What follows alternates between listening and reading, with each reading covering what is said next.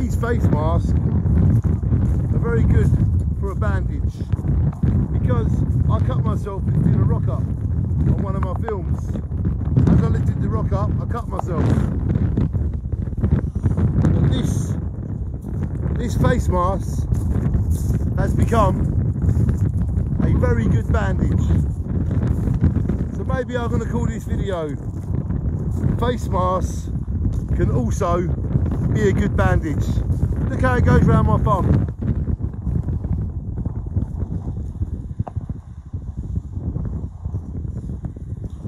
Can you show me how you wrapped it up so I can just show the injury?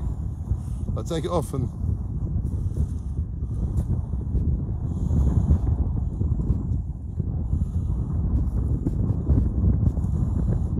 do it up again.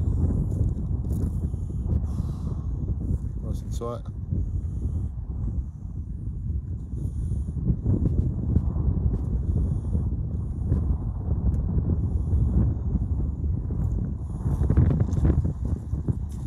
There you go, ladies and gentlemen. You've just seen how a face mask can become a very useful bandage. Take care of yourself. Shine on.